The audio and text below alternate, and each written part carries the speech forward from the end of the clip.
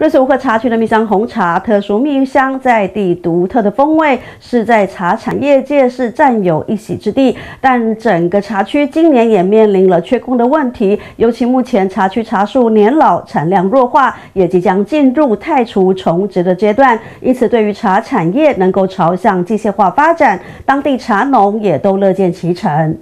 在茶叶市场占有一席之地的瑞士香蜜香红茶产业，也因此让五克茶区成为了近年来台湾唯一茶园面积增加的地方。但极度仰赖人工生产的茶产业，随着茶叶人口高龄化而逐渐面临缺工的问题，因此对于茶叶机械化，茶农趋之若鹜，迟早会面临就是人工缺的问题嘛。所以现在为什么会今今天种这个双双行的原因，也是为了以后走机械化，哎，这样在采收会比较快，而且它很快就成型成。就是一片，比方说我们一般来讲的话，它第三年采采收，那这个种双行的哈，就两年就 OK 的，就可以采了。瑞穗乌克茶区除了新植茶园，由于茶区产业超过三十多年之久，多数茶园茶树都趋近经济年限，茶树老，茶树产量弱化，不少茶农也开始考虑太久换新，因此如何配合机械化生产管理，